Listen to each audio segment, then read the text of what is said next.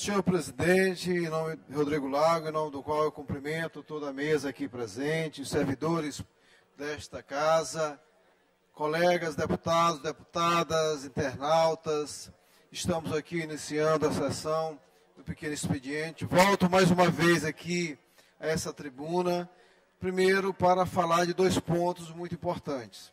Primeiro é dizer do lançamento no dia 27 do Plano Safra da agricultura, do Plano Safra é, 2023-2024 aqui no Maranhão, com a presença do ministro Paulo Teixeira, do presidente nacional do INCA, do presidente nacional da CONAB, da diretora executiva Lorona Santana, que é uma maranhense, que esteve da ANATEC, que esteve conosco também, e a presença do governador Carlos Brandão, secretário Bira e demais secretários nesse importante é, evento de fortalecimento da agricultura familiar, que é uma das prioridades, deputado Arnaldo, do governo Lula, que nós estamos muito esperançosos de que, de fato, né, a atuação é, conjunta do governo do Estado, através da, da SAF, a GERP e os demais órgãos, Sagrima, junto com o Ministério do Desenvolvimento Agrário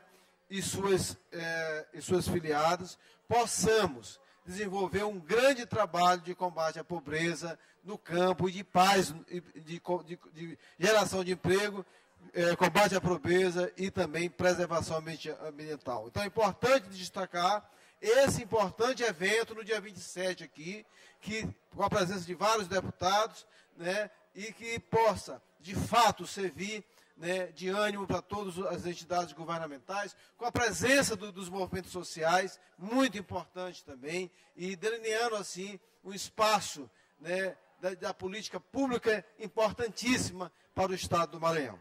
Logo em seguida, no dia 28, estivemos em Tapecuru, deputado Ricardo Rios, na, no povoado Vinagre, deputado é, é, Ricardo Arruda, justamente visitando o deputado Iglesias, a cooperativa né, de produtores do, da, da, da, comunidade do Vinagre em Itapecuru. Lá tem dois grupos né, que produzem é, hortaliças, mas tem as mulheres. Eu quero chamar a atenção das mulheres que produzem sub, subprodutos da agricultura familiar, basicamente do babaçu, né, com brownies, sorvetes, mais de 25 produtos. Inclusive, o governador Brandão, com o ministro estiveram lá, ficaram encantados com a variedade de produtos né, o governador Brunão, inclusive, se comprometeu em colocar no cerimonial. Estou fazendo um apelo também à presidência da casa, a deputada Iracema, já falei com ela, para incorporar também os subprodutos da, é, do Babaçu né, aqui no nosso cerimonial, eu, particularmente, já estou colocando no nosso gabinete,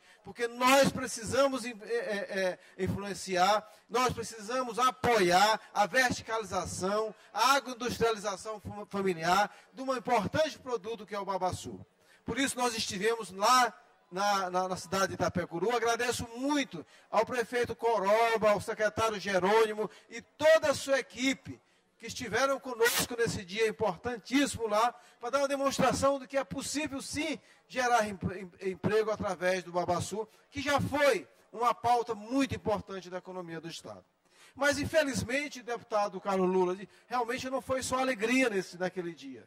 Nos deparamos com o assassinato do quilombola, da presidenta da comunidade Jaibara, conhecido como DOCA, né, onde ali se configurou um crime bárbaro, onde é, deixando uma família lutada, mas que também nos traz a esperança devido o, o tanto o secretário Gerson quanto o, o secretário Maurício ter visitado a área de autodeterminação do governador e a gente poder assim fazer essa investigação que precisa ser feita precisa ser feita, como disse o deputado Carlos Lula, não é o primeiro, não é o segundo nos últimos anos, não é o terceiro, não é o quarto. São mais de dez lideranças quilombolas que foram assassinadas. Por isso é preciso fazer a investigação, para que também a gente não se precipite e aqui atribua um crime a uma linha que não, que não, não condiz com a realidade. Nós precisamos ter a responsabilidade sobre a investigação. Mas nós precisamos também ter energia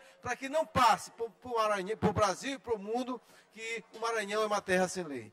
Quero agradecer a presença forte do governador Carlos Brandão lá em Itapecuru e do comprometimento dele em dizer que a investigação será feita. Nós, concluindo, senhor presidente, nós iremos acompanhar essa investigação, como também estaremos atentos.